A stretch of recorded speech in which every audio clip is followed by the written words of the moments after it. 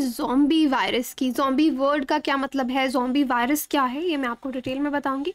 बाकी आप यहाँ पे मेरे बारे में जान सकते हैं। This is my Telegram channel जहाँ पे आप मुझसे जुड़ सकते हैं for any queries because I feel together we can make a huge difference now see काफ़ी ये न्यूज़ प्रिंट मीडिया में है कि साइंटिस्ट ने forty eight thousand five hundred year पुराना लाइक ऑलमोस्ट पचास हज़ार साल पुराना जोम्बी वायरस जो है, जो रशिया के सर्वेरिया में दबा हुआ था, उसको रिवाइव कर लिया है। तो देखो, यहाँ पे तो पहले इस चीज़ को लेके कंफ्यूज कंफ्यूज मत होना कि साइंटिस्ट ने ये वायरस रिवाइव किया है, इसको फिर से एक्टिवेट किया है तो इसी वायरस से इन्फेक्शन होगी। यहाँ पे जोम्बी वायरस का कहने का ये मतलब नहीं है। यहाँ पे मतलब है क्लाइमेट चेंज से जुड़े हुए मतलब हैं आपके? कि किन वायरसेस की यहाँ पे बात हो रही है? पहली बात आती है जोम्बी जोम्बी वर्ड क्या आपने तो मूवीज़ भी देखी होंगी जहाँ पे दिखाते हैं कि एक मरा हुआ इंसान फिर से ज़िंदा हो जाता है और दूसरे इंसानों को खाना शुरू कर देता है। सो काइंड ऑफ़ एक डरावना सा कनोटेशन है जोम्बी वर्ड के साथ। और दूसरा अदरवाइज़ इसका मीनिंग होता है कोई भी ऐसी चीज़ जो मूव कर रही हो, लेकिन उसको कंट्रोल कोई और कर रहा हो। So that is like a zombie तो जोम्बी वायरस यहाँ पे क्या है कि परमाफ्रॉस्ट आप जानते हैं, जो जगहें आपकी बिल्कुल बर्फ़ में जमी पड़ी हैं और उनमें बहुत ज़्यादा कार्बन डाइऑक्साइड और मिथेन है राइट अब क्या हो रहा है? क्लाइमेट चेंज की वजह से ग्लोबल वार्मिंग हो रही है टेम्परेचर्स आपके इंक्रीज़ हो रहे हैं। उन टेम्परेचर इंक्रीज़ होने से हम देख रहे हैं कि परमाफ्रॉस्ट में जो डॉर्मेंट वायरसेस हैं, वो फिर से रिवाइव हो रहे हैं। डॉर्मेंट क्या होता है? किस स्टेज में? इन एक्टिव स्टेज में। तो जब वो एक्टिव हो रहा है वायरस, एक्टिव कैसे होता है वायरस? जब वो किसी सेल को इन्फेक्ट करता है।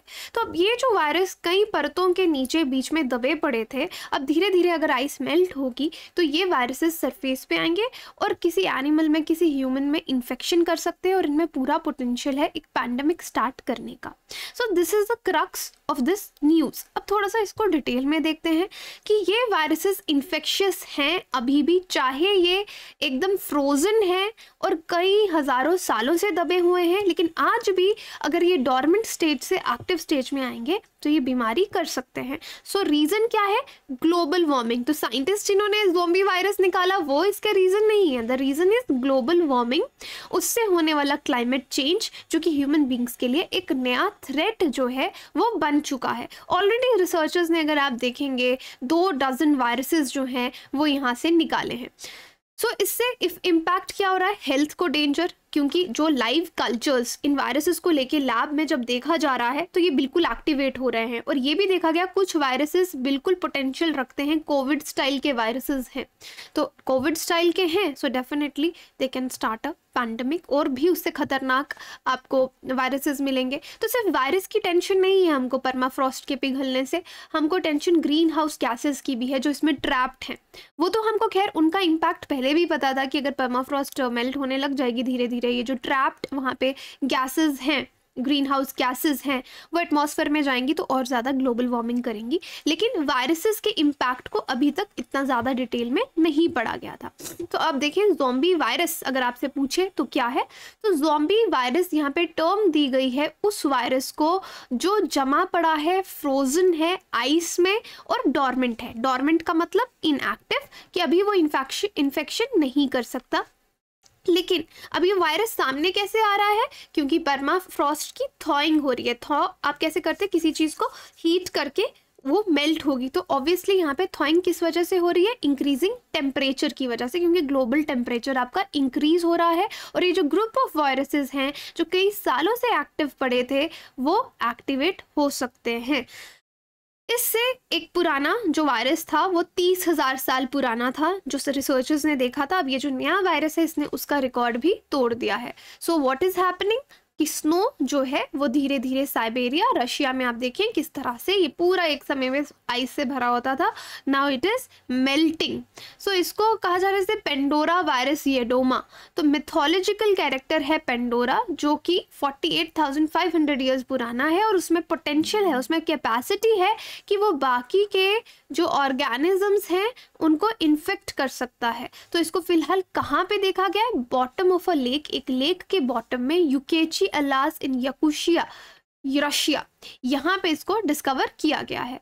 तो इसका क्या रीज़न है? देखिए one quarter one of one quarter of the northern hemisphere अगर आप नॉर्दर्न हेमिसफेयर को देखेंगे तो वो परमानेंटली फ्रोजन है।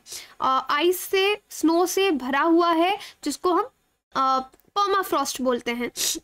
बट क्लाइमेट वार्मिंग की वजह से ये सब रिवर्स हो रहा है, वो मेल्ट हो रहे हैं कार्बन डाइऑक्साइड मिथेन बाहर निकल रही है ग्रीन हाउस इफ़ेक्ट आपका इंक्रीज हो रहा है और ये जो ऑर्गेनिक मैटर है part of this organic matter जिसमें क्योंकि यहाँ पे जो भी ऑर्गेनिक मैटर कभी एकदम फ्रोजन हो गए हैं, उनमें सेलुलर माइक्रोब्स हैं माइक्रो ऑर्गेनिजम्स हैं।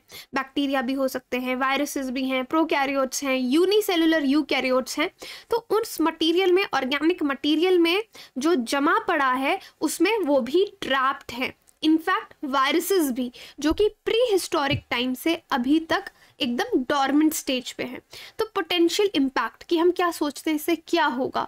ये जितने भी जोमी वायरसेस हैं इन्फेक्शियस हैं इन्फेक्शन तो ये अभी भी कर सकते हैं। So that means there is danger to the health of human beings of animals living organisms living on the earth तो जिस तरह से पैंडमिक कोविड नाइन्टीन इसलिए उसको उससे कंपेयर किया जा रहा है कि ऐसा भी हो सकता है। सो so, कुछ स्क्रीनशॉट्स मैं आपको यहाँ दिखाती हूँ। Look at the news Arctic ocean acidifying up to four times as fast as other oceans तो आर्टिक के साथ क्या क्या हो रहा है? एसिडिफिकेशन भी हो रही है। तो एक वीडियो में मैंने डिटेल में ये भी बताया था कि एसिडिफिकेशन का क्या मतलब है। आर्टिक तेज़ी से गर्म हो रहा है। सो so, आप आर्टिक ओशन वाला ही हिस्सा देख सकते हैं।